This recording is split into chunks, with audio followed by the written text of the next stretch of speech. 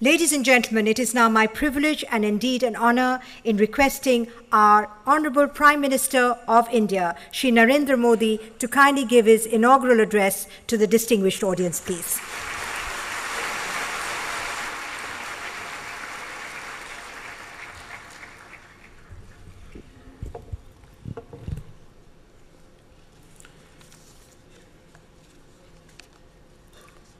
मंच पर विराजमान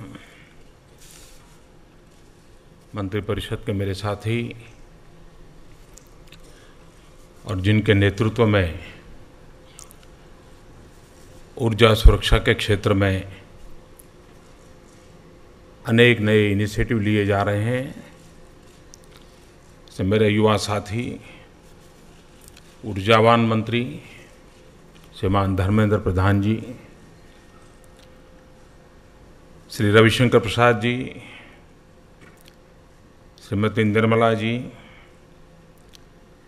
बांग्लादेश से आज विशेष रूप से पधारे हुए हमारे मेहमान, समान Nasrul Hameed ji, cabinet secretary Shri Ajit Sheth, Shri Saurabh Chandra, Shri D K Sharaf Shri B Ashok, Shri A K Purwaha, Shri Narendra Kumar Verma उपस्थित सभी महानुभाव और नौजवान साथियों, आज ऊर्जा संगम भी है और त्रिवेणी संगम भी है। त्रिवेणी संगम इस अर्थ में है कि तीन महत्वपूर्ण इनिशिएटिव जिनको हम गोल्डन जुबिली के रूप में मना रहे हैं। ओ Videsh limited engineers India limited, and Barauni refinery limited. इन तीनों क्षेत्रों में, गत 50 वर्ष में जिन जिन महानुभावों ने योगदान दिया है इस अभियान को आगे बढ़ाया है और भारत को ऊर्जा के क्षेत्र में ताकत देने के लिए निरंतर प्रयास किया है। मैं इन तीनों संस्थाओं से जुड़े सभी महानुभावों को हृदय से बहुत बहुत अभिनंदन करता हूँ और मुझे विश्वास है कि जब हम गोल्डन जुबिलियर मना रहे हैं, तब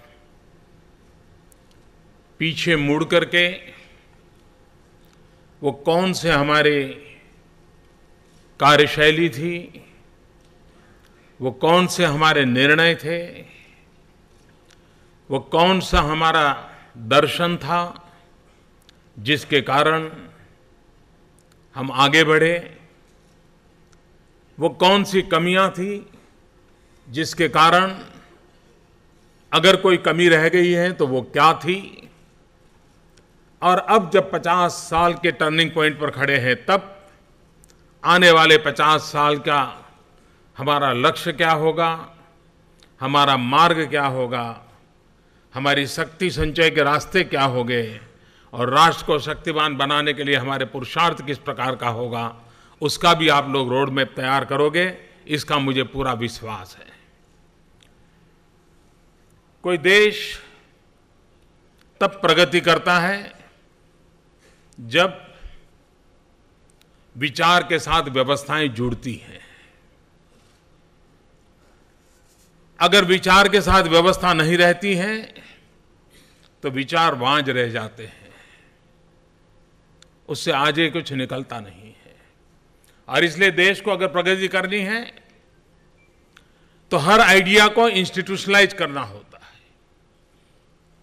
और देश लंबे स्तर से तक, स्थायी भाव से तब प्रगति करता है, जब उसका इंस्टीट्यूशनल मैकेनिज्म अधिक मज़बूत हो। इंस्टीट्यूशनल मैकेनिज्म में ऑटो पायलट ऐसी व्यवस्था हो ताकि वो नित्य नूतन प्रयोग करता रहता हो। मैं समझता हूँ कि हमारे पास आने वाले युग के लिए भी नई व्यवस्थाओं के निर्माण की आवश्यकता है और वर्तमान में जो व्यवस्थाएँ हमारे पास है, जो इंस्टीट्यूशनल मैकेनिज्म है, उस इंस्टीट्यूशनल मैकेनिज्म को भी आने वाली शताब्दी के लिए किस प्रकार से अधिक आधुनिक बनाया जाए नए इनोवेशंस कैसे किए जाएँ? यंग माइंड को कैसे इनकॉर्पोरेट किया जाए? और न सिर्फ़ भारत की सीमाओं तक, लेकिन ग्लोबल पर्सपेक्टिव में हम अपनी विकास की दिशा कैसे तय करें और उन लक्ष्यों को कैसे पार करें, कैसे प्राप्त करें, उन बातों पर जितना हम बल देंगे तो विश्व की भारत के पास जो अपेक्षाएँ हैं, और दुनिया का वन सिक्स पॉपुलेशन ये वन सिक्स पॉपुलेशन ये कह करके नहीं रोक सकता कि हमारी ये मुसीबत है हमारी ये कठिनाई है। दुनिया के वन सिक्स पॉपुलेशन का तो ये लक्ष्य रहना चाहिए कि विश्व का वन सिक्स बोझ हम अकेले अपने कंधों पर उठा, उठाएँगे और विश्व को सुख शांति देने में हमारा भी कोई न कोई सकारात्मक कंट्रीब्यूशन होगा। ये ग्लोबल पर्सपेक्टिव के साथ भारत ने अपने आप को सज्ज करना होगा। भारत ने अपने आप को तैयार करना होगा। और मुझे विश्वास है, जिस देश के पास पैंसठ प्रतिशत जनसंख्या 35 साल से कम उम्र की हो, यंग माइंड जिसके पास हो, अच्छे सपने देखने का जिन लोगों में सामर्थ्य हो, ऐसी ऊर्जावान देश के लिए सपने देखना और सपने पूरा करना कठिन नहीं होता। और मुझे विश्वास है कि आज जब हम इस महत्वपूर्ण अवसर पर ऊर्जा संगम के समारोह में मिले हैं, तब कल, आज और आने वाले कल का भी संगम हमारे मन मस्तक में स्थिर हो, ताकि हम नई ऊंचाइयों को पार करने के लिए विश्व के काम आने वाले भारत को तैयार करने में सफल हो सके। और इस अर्थ में आज मुझे आज आपके बीच आने का सौभाग्य मिला। मैं आपको इसके लिए हृदय से बहुत बहुत शुभकामनाएँ देता हूँ और आपके आगे की यात्रा बहुत ही उत्तम तरीके से राष्ट्र की सेवा में काम आएगी, ऐसा मुझे पूरा विश्वास है। नई सरकार बनने के बाद,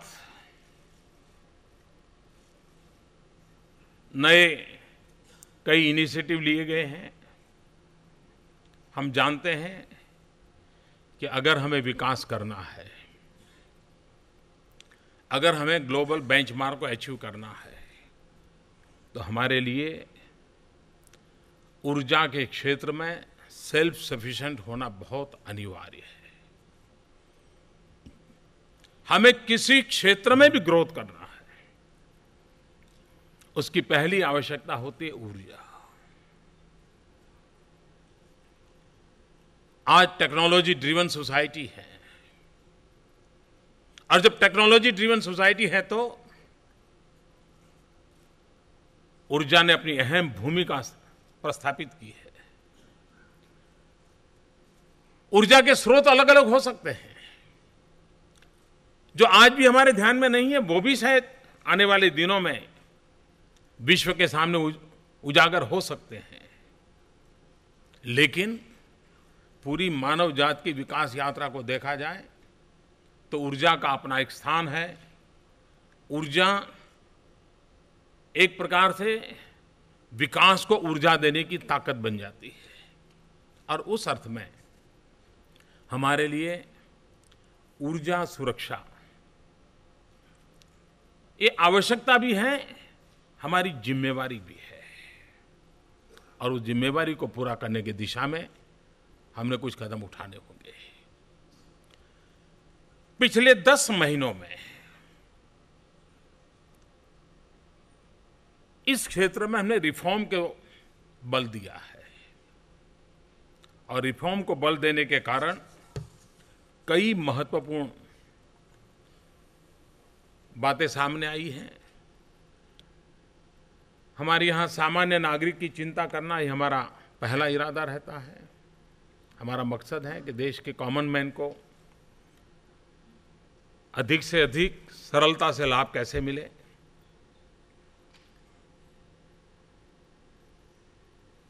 Subsidy transfer scheme. दुनिया की सबसे बड़ी गैस सब्सिडी को ट्रांसफ़र करने की स्कीम में सिर्फ़ 100 दिन के कालखंड में हमने सफलता पाई है।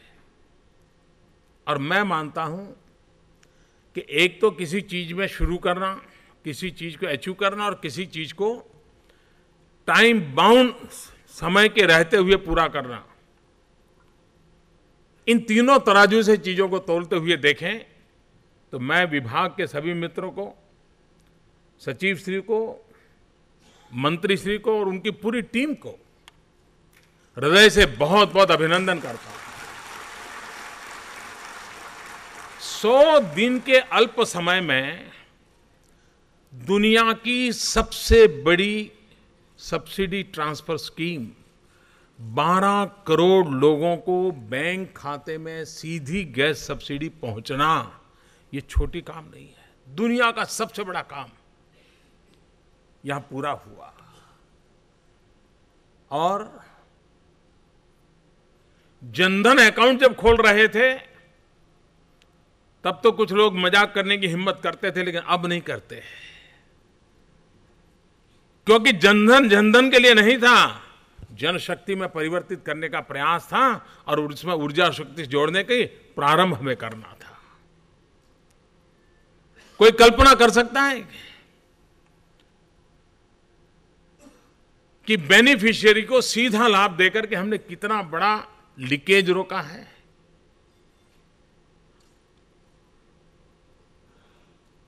मैं विशेष करके पॉलिटिकल पंडितों से आग्रह करूँगा। कि जरा उसकी गहराई में जाए। मैं अपनी तरफ़ से क्लेम करना नहीं चाहता हूँ आज। जिस भ्रष्टाचार से खिलाफ लड़ने की बातें तो बहुत होती हैं, लेकिन भ्रष्टाचार से लड़ने के लिए institutional mechanism mechanism transparent mechanism policy driven व्यवस्थाएँ अगर निश्चित की जाए तो हम लीकेजेज को रोक सकते हैं। और ये उत्तम उदाहरण कैश ट्रांसफ़र के द्वारा हमने सिद्ध किया है। पहले कितने सिलेंडर जाते थे, अब कितने सिलेंडर जाते हैं, इससे पता चलेगा।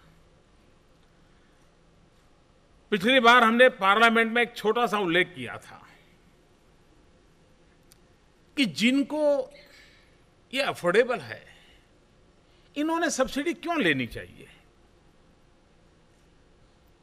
क्या देश में ऐसे लोग नहीं निकल सकते कि जो कहे कि नहीं भाई, ठीक है अब तो ईश्वर ने हमें बहुत दिया है, देश ने हमें बहुत दिया है, अब हमें गैस सिलेंडर के लिए सब्सिडी की ज़रूरत नहीं है।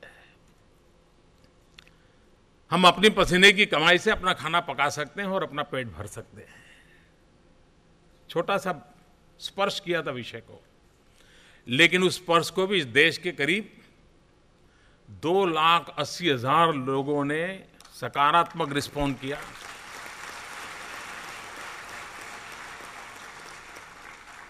और इस गिव इट अप मूवमेंट में भागीदार हुए। सवाल ये नहीं है कि दो लाख, तीन लाख लोग इसमें जुड़े। सवाल यह है कि देश चलाना है तो देश भागीदारी करने को तैयार होता है, देश का हर नागरिक भागीदारी करने को तैयार होता है, उनको अवसर देना चाहिए। देश के नागरिकों पर भरोसा करना चाहिए। हमारा सबसे बड़ी पहल यह है कि हम हिंदुस्तान के नागरिकों पर भरोसा कर करके आगे बढ़ना चाहते हैं। और आपको जानकर के आनंद होगा कि समाज के एक वर्ग ने जिसने कहा कि हाँ भाई, हम सब्सिडी से गैस अब लेना नहीं चाहते, हम अपना पैसा दे सकते हैं। करीब दो लाख अस्सी हज़ार लोग से ज़्यादा लोगों ने इसका लाभ लिया, दिया, एक प्रकार से देश को लाभ दिया है। उससे कम से कम सौ करोड़ रुपए की बचत होगी। ये सौ करोड़ रुपया किसी गाँव में स्कूल बनाने का काम आएगा कि नहीं आएगा? किसी गरीब का बच्चा बीमार होगा तो उसके काम आएगा कि नहीं आएगा? जिसने भी ये काम किया है, उसने एक प्रकार से गरीबों की सेवा करने का काम किया है। और ये जो सिलेंडर बचे हैं, उस सिलेंडरों से हम पैसे बचाना नहीं चाहते। हम इसको गरीबों तक पहुंचाना चाहते हैं, ताकि आज वो धुएँ में चूल्हा जलाते हुए जो माँ परेशान रहती है, उसको कोई राहत मिल जाए, उसके बच्चों को आरोग्य का लाभ मिल जाए। गरीब के धक घर तक के गैस का सिलेंडर कैसे पहुँचे, इसका हमने अभियान चलाया है। और मैं आज विधिवत रूप से ये सफलता देख करके, पहले तो हमने ऐसे ही कहा था चलो जरा कहें, लेकिन जो रिस्पांस देश ने दिया है, मैं उन दो लाख अस्सी हज़ार से अधिक लोगों ने इस काम को जिम्मा लिया। मैं उनका आभार व्यक्त करता हूँ, अभिनंदन करता हूँ, और देशवासियों को अपील करता हूँ कि जिसके लिए भी ये संभव है, अपनी जेब से अपना खाना पकाने की जिनकी ताकत है, वो कृपा करके ये गैस सिलेंडर में सब्सिडी न ले। देने का भी एक आनंद होता है, देने का भी एक संतोष होता है। और जब आप गैस सिलेंडर की सब्सिडी नहीं लेंगे, तब मन में याद रखिए कि ये जो पैसे देश में बचने वाले हैं, वो किसी न किसी गरीब के काम आने वाले हैं, वो आपके जीवन का संतोष होगा, आनंद होगा। और मैं विधिवत रूप से देशवासियों से आग्रह करता हूँ। जब मैं मैं ये विचार कर रहा था, तब मैंने डिपार्टमेंट को पूछा था कि पहले जाँच करो भाई, मोदी के नाम का तो कोई सिलेंडर है नहीं ना कहीं पर। मेरा सौभाग्य रहा कि मुझे कभी इस दुनिया से उलझना ही नहीं पड़ा है। तो उसके कारण न कभी पहले लिया था, न कभी आज है तो फिर मैं एक मॉरल ताकत से बोल सकता था हाँ भाई, हम ये कर सकते हैं।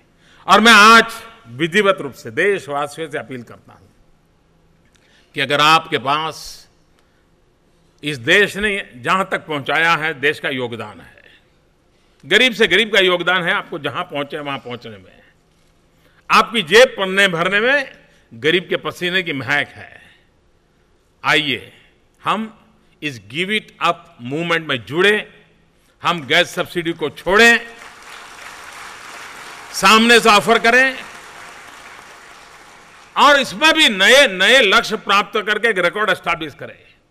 मैं आपको विश्वास दिलाता हूँ, जो सिलेंडर आप सब्सिडी छोड़ेंगे, वो हम गरीबों को पहुंचाएँगे। ये काम गरीबों के काम आएगा। हमने एक और इनिशिएटिव लिया है। फाइव के का सिलेंडर। जो विद्यार्थी हैं, अब उनको पूरा सिलेंडर लेके क्या करेगा? वो बेचारा एक कमरे में रहता है, या तो कोई नौकरी के लिए गए हुए लोग हैं, या जो गुमन जाति के लोग हैं, गरीब लोग हैं, एक जगह से दूसरी जगह पे जाते हैं तो उनको फाइव के का सिलेंडर मिलेगा। तो ऐसे गरीब लोगों को वो एफोर्डेबल भी होगा और उसकी ज़रूरत पूरी करने की व्यवस्था होगी। हमने उस दिशा में प्रयास किया है। हमने एक ये भी काम किया, डीजल को डिरेगुलेट किया। और डीजल को डिरेगुलेट करने के कारण रिफॉर्म के लिए एक महत्वपूर्ण माना जाता है। इंटरनेशनल दाम कम हुए थे तो थोड़ी सुविधा भी रही। लेकिन मार्केट को तय करने दो, क्योंकि ग्लोबल मार्केट के दबाव में है। और मैंने देखा है कि देश ने सहजता से इसको स्वीकार कर लिया है। कभी दाम ऊपर जाते हैं, कभी दाम नीचे जाते हैं, लेकिन लोगों को मालूम है कि इसमें सरकार का कोई रोल नहीं है। बाज़ार की जो स्थिति है, हम उसके साथ जुड़ गए हैं। तो भारत का नागरिक भी, एक खरीदार के रूप में भी ग्लोबल इकोनॉमी का हिस्सा बन करके अपनी जिम्मेवारियों को निभाने के लिए तैयार हुआ है। ये अपने आप में विकास की एक सकारात्मक दृश्य के रूप में मैं देख रहा हूँ। मैं देख रहा हूँ कि उसका भी लाभ होगा। हमने एक और महत्वपूर्ण निर्णय किया। जब ऊर्जा के क्षेत्रों में चर्चा करते हैं तो हमने सभी क्षेत्रों में प्रयास करना पड़ेगा। इथेनॉल के लिए, पेट्रोल में उसको मिक्स करने के लिए हमने इनिशिएटिव लिया, विधिवत रूप से लिया। हमारे गन्ने की खेती करने वाले किसान परेशान है, क्योंकि उसकी लागत से चीनी की कीमत कम हो रही है। चीनी के कारखाने बंद हो रहे हैं। अगर उसके लिए एक नई व्यवस्था जोड़ दी जाए, अगर चीनी बनाने वाले, चीनी उनके पास एक्सेस है, उसके कारण दाम टूट रहे हैं, दुनिया में कोई इंपोर्ट करने वाला नहीं है तो ऐसी स्थिति में आप चीनी मत बनाइए इथेनॉल बनाइए, कुछ मात्रा में इथेनॉल बनाइए, उसको पेट्रोल में ब्लेंड कर दिया जाए। किसी समय ये पेट्रोलियम लॉबी के मामले, ऐसा कहा जाता है, इतनी पावरफुल होती है कोई निर्णय नहीं कर सकता। हमने निर्णय किया है। यहाँ कई लोग बैठे होंगे, शायद उनको अच्छा नहीं भी लगेगा। लेकिन हमने निर्णय किया है, और उसके कारण हम क्लाइमेट की भी चिंता करते हैं एनवायरमेंट की चिंता करते हैं एट द सेम टाइम हम इकोनॉमी की भी चिंता करते हैं। और हमारे गरीब किसान, गन्ने का किसान है, ये इथेनॉल के द्वारा हम उसकी बहुत बड़ी मदद कर रहे हैं। हमारा जो शुगर सेक्टर है, उसको ताकत देने का एक उत्तम रास्ता हमने किया है। और पहले इथेनॉल का एमएसपी नहीं था। मिनिमम सपोर्ट प्राइस का निर्णय नहीं था, उसका कोई प्राइस कीमत तय नहीं था। हमने तय कर दिया 48.50 पैसा टू 49.50 पैसा तक इसका रहेगा ताकि एक राज्य में एक भाव हो, दूसरे राज्य में दूसरा हो, स्थिति खराब ना हो, और उसके कारण कोई भी कंपनी डायरेक्ट ले सकती है। कोई टेंडर प्रोसेस में जाना नहीं पड़ेगा मार्केट रेट फिक्स कर दिया है। मैं समझता हूँ कि उसके कारण भी एक और लाभ होगा। और एक काम हमने इनिशिएटिव लेने के लिए राज्यों से आग्रह किया है। जिन जिन राज्यों में बंजर भूमि है, जहाँ पर अन्य फ़सल की संभावनाएँ कम है, वहाँ पर जेट्रोफा की खेती बहुत अच्छी हो सकती है, जेट्रोफा की पैदावार अच्छी हो सकती है, और जेट्रोफा जैसे वो तिल हैं जिसमें से खाद्य तेल नहीं निकलता, लेकिन ऑयल मिलता है, उसको बढ़ावा देना और उसको बायोडीजल के रूप में डेवलप करना। और जितनी मात्रा में हम बायोडीजल को मार्केट में लाएँगे, हमारा किसान जो खेत में पंप चलाता है या ट्रैक्टर चलाता है, उसको भी उसके कारण लाभ होगा। गरीब आदमी को किस प्रकार से लाभ हो, उस पर बल देने का हमारा प्रयास है। देश में अगर हमें विकास करना है तो भारत का पश्चिमी छोर का विकास हो तो देश का विकास कभी संभव नहीं होगा। असंतुलित विकास भी कभी कभी विकास के लिए खुद समस्या बन जाता है। विकास संतुलित होना चाहिए। हर राज्य का 19 बीस का फ़र्क तो हम समझ सकते हैं, लेकिन 80 बीस का फ़र्क से देश नहीं चल सकता। और इसलिए पश्चिम में तो हमें इकोनॉमिक एक्टिविटी दिखती है, लेकिन पूरब, जहाँ सबसे ज़्यादा प्राकृतिक संपदा है, पूर्वी भारत पूरा जहाँ पर समर्थ लोग हैं, उनकी शक्ति कम नहीं होती है, लेकिन उनको अवसर नहीं मिलता है। देश को आगे बढ़ाना है तो हमारा लक्ष्य है कि भारत का पूर्वी इलाका, चाहे पूर्वी उत्तर प्रदेश हो, बिहार हो, उड़ीसा हो, असम हो, पश्चिम बंगाल हो, नॉर्थ ईस्ट के इलाके हो, जहाँ पर विकास की विपुल संभावनाएँ हैं। उस पर हमने बल देने का आग्रह है। सेकंड ग्रीन रिवॉल्यूशन की भूमि भी अगर बनेगी तो पूर्वी भारत बनेगा, मुझे साफ़ दिखाई दे रहा है। जहाँ विपुल मात्रा में पानी है, उसी प्रकार से औद्योगिक विकास में भी बड़ा कंट्रीब्यूशन करने की संभावना पूर्वी भारत में पड़ी है। और इसके लिए गैस ग्रिड नेटवर्क, ऊर्जा ज़रूरत है। अगर पटना के पास गैस पाइपलाइन से मिलेगा तो पटना में उद्योग आएँगे। बिहार के उन शहरों में भी उद्योग जाएँगे, असम में भी जाएँगे, पश्चिम बंगाल में भी जाएँगे, कलकत्ता में भी नई ऊर्जा आएगी। और इसलिए हमने गैस ग्रिड का, पाइपलाइन के नेटवर्क का एक बहुत बड़ा अभियान उठाना हमने तय किया है। और इतना ही नहीं, शहरों में, क्योंकि पॉल्यूशन, शहरों के पॉल्यूशन की बड़ी चर्चा है। और उसके लिए हमने तय किया है कि हम परिवारों में पाइपलाइन से गैस का कनेक्शन दें। यह हम देना चाहते हैं। अब तक हिंदुस्तान में 27 लाख परिवारों के पास पाइपलाइन से गैस कनेक्शन है। हम आने वाले चार साल में ये संख्या एक करोड़ पहुंचाना चाहते हैं। एक करोड़ परिवार। और पूरे पूर्वी भारत में गैस ग्रिड से गैस देने का हमारा लक्ष्य है मैं जानता हूँ हज़ारों करोड़ रुपए का हमारा इन्वेस्टमेंट है, लेकिन ये इन्वेस्टमेंट करना है, क्योंकि एक बार अगर ऊर्जा के स्रोत वहाँ विपुल मात्रा में होंगे तो हमारा पूर्वी भारत में भी उद्योग लगाने वाले लोग पहुँचेंगे। अगर गैस उनको मिलता है तो उद्योग लगाने के लिए जाएँगे। और ऊर्जा आखिर ऊर्जा की गारंटी होनी चाहिए, उसको लेकर के हम आगे बढ़ना चाहते हैं। हमने इस क्षेत्र में विकास करना है तो स्किल डेवलपमेंट पे भी बल देना पड़ेगा। इस कार्यक्रम में विशेष रूप से आईआईटी जैसे हमारे इंस्टीट्यूशंस के स्टूडेंट्स को बुलाया है। हमारे लिए ये बहुत बड़ी चैलेंज है कि इस क्षेत्र में इनोवेशन कैसे करें। हम अभी भी पुराने ढरे से चल रहे हैं। ये यंग माइंड की ज़रूरत है और यंग माइंड का एक लाभ है, वो बड़े साहसिक होते हैं। वो प्रयोग करने के लिए ताकत रखते हैं। जो अनुभव के किनारे पहुँचे, वो पचास बार सोचता है, ये करूँ या न करूँ करूँ या न करूँ? अच्छा कबड्डी का खिलाड़ी भी रिटायर्ड होने के बाद जब कबड्डी के खेल देखने खड़ा होता है तो उसको भी डर रहता है, अरे, ये कहीं गिर ना जाए। वो चिंता करता रहता है। और इसलिए यंग माइंड, जो जिसकी रिस्क कैपेसिटी बहुत होती है, ऐसे यंग माइंड को आज विशेष रूप से बुलाया है। मैं आग्रह करता हूँ कि इस क्षेत्र में बहुत इनोवेशन की संभावना है? इनोवेशन को हम ऊर्जा के क्षेत्र में किस प्रकार से हमारा माइंड अप्लाई करें? भारत को हम ऊर्जा क्षेत्र में सुरक्षित कैसे करें? स्वावलंबी कैसे करें? उसकी में पहली आवश्यकता है इनोवेशन टेक्नोलॉजी इनोवेशन अपग्रेडेशन दूसरा है स्किल डेवलपमेंट हमने स्किल डेवलपमेंट का एक अलग डिपार्टमेंट बनाया है, लेकिन स्किल डेवलपमेंट को भी हम area specific need specific and development specific बनाना चाहते हैं। रिक्वायरमेंट स्पेसिफिक बनाना चाहते हैं। हमने एक बार हिसाब लगाया कि सिर्फ़ हमारे पेट्रोलियम सेक्टर में जो काम करते हैं, जैसे गैस की पाइपलाइन लगती है। अब गैस की पाइपलाइन लगाने वाला, वो पानी की पाइपलाइन लगाने वाला नहीं चल सकता। उसके लिए एक स्पेशल स्किल चाहिए। व्यक्ति वही होगा। एक्स्ट्रा स्किल की आवश्यकता है वैल्यू एडिशन की आवश्यकता है।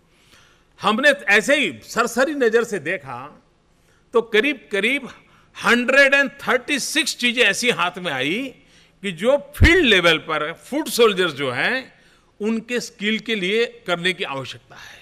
हमने एक अभियान चलाया है आने वाले दिनों में। इन सभी सेक्टर्स में हम स्किल डेवलपमेंट को बल दें और सामान्य गरीब मजदूर भी हैं, जो ये पेट्रोलियम सेक्टर में, ऊर्जा के सेक्टर में मान लीजिए सोलार एनर्जी पर हम इनिशिएटिव ले रहे हैं। अगर सोलार एनर्जी में इनिशिएटिव लिए तो सोलार एनर्जी में वो वायरमैन काम करेगा कि सोलार सेक्टर का उसका स्किल डेवलपमेंट होना चाहिए। और इसलिए नए सिरे से सिलेबस बने, नए सिरे से उनके लिए कहीं एक वीक के, दो वीक के, एक साल के, दो साल के, जो भी आवश्यक हो, स्किल डेवलपमेंट मिशन के साथ जोड़ करके हम पेट्रोलियम सेक्टर में भी, ऊर्जा के क्षेत्र में भी ऐसी कितनी भी नई चीज़ें, और मैं तो चाहूँगा कि हम कंपनियों के साथ मिलकर के इसको करना चाहते हैं। कंपनियाँ भी पार्टनर बने और कंपनियों के साथ मिलकर के करेंगे? तो ह्यूमन रिसोर्स डेवलपमेंट ये भी हमारे लिए उतना ही आवश्यक है, जिसको लेकर के हम आगे बढ़ना चाहते हैं। और मुझे विश्वास है कि आने वाले दिनों में एक प्रकार से इनोवेशन के लिए पूरा पूरा अवसर, उसी प्रकार से इसको भी पाने का अवसर। 2022 में भारत की आज़ादी के 75 साल हो रहे हैं। देश आज़ादी का अमृत पर्व बनाने वाला है। जिन महापुरुषों ने सपने देखे थे, भारत को महान बनाने के, और इसके लिए आज़ादी के लिए अपने आप को बलि चढ़ा दिया था, जवानी जेल में खपा दी थी अपने अपने परिवारों को तबाह कर दिया था, इसलिए कि हम आज़ादी की सांस ले सके, हम आज़ाद भारत में पल बढ़ सके। हम वो भाग्यशाली लोग हैं जो उनकी तपस्या और त्याग के कारण आज आज़ादी का आनंद लूट रहे हैं। क्या हमारा जिम्मा नहीं है कि जिन महापुरुषों ने देश के लिए इतना बलिदान दिया, हम उनको कैसा भारत समर्पित करेंगे? कैसा भारत देंगे? 2022 जबकि हिंदुस्तान की आज़ादी के 75 साल है। इस ऊर्जा संगम में जो लोग आए हैं, मैं आपसे आग्रह करता हूँ कि 2022 में जब देश आज़ादी का अमृत पर्व मनाए, तब आज हम ऊर्जा के क्षेत्र में करीब करीब 77 परसेंट इंपोर्ट करते हैं। ऑयल और गैस और पेट्रोलियम सेक्टर में। क्या आज़ादी के 2022 के पर्व पर, अमृत पर्व पर हम ये 57 77 में से कम से कम, मैं ज़्यादा नहीं कह रहा हूँ टेन परसेंट इंपोर्ट कम करेंगे। हम उतना टेन परसेंट ग्रोथ करेंगे, स्वावलंबी बनेंगे। ये सपना लेकर के आज हम जब पचास सब मना रहे जा सकते हैं क्या? एक बार हम 2022 में 10 परसेंट इंपोर्ट कमी करने में सफल हो जाते हैं 10 परसेंट ग्रोथ सतत कर करके हम उस ऊंचाई को पार कर सकते हैं तो मैं आपको विश्वास दिलाता हूँ कि 2030 में हम ये इंपोर्ट को 50 प्रतिशत ला सकते हैं।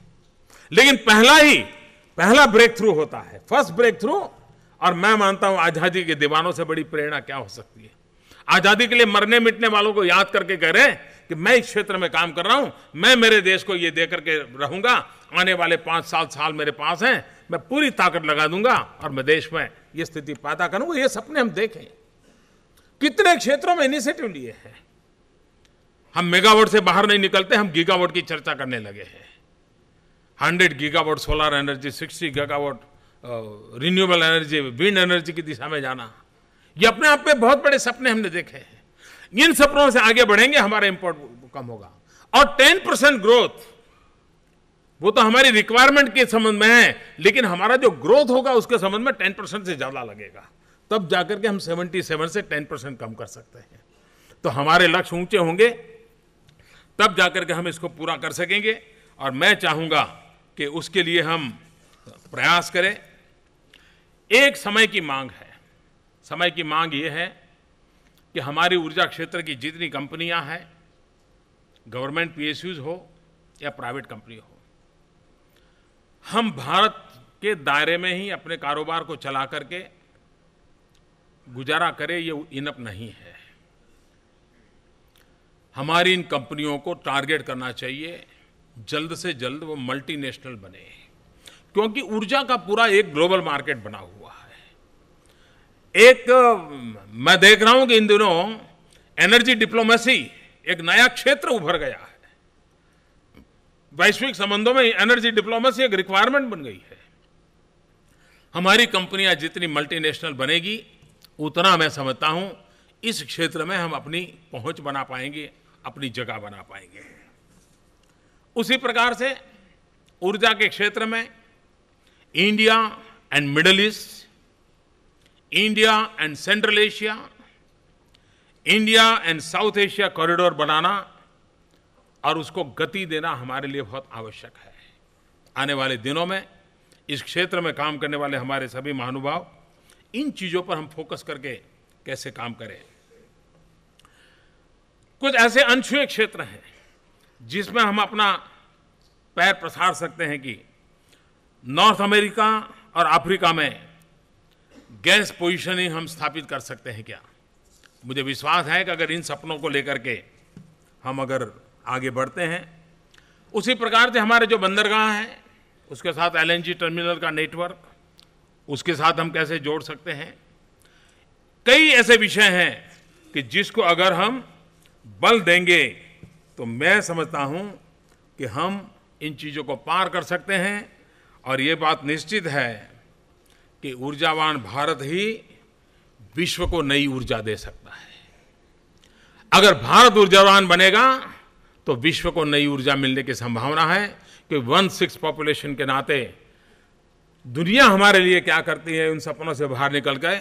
हम विश्व के लिए क्या कर सकते हैं, ये सपने देख करके चलेंगे तो देश का अपने आप भला होगा। मैं फिर एक बार इन तीनों संस्थाओं को बहुत कुछ शुभकामनाएँ देता हूँ। विभाग के सभी साथियों को, उनके अचीवमेंट के लिए हृदय से अभिनंदन करता हूँ। बहुत बहुत धन्यवाद।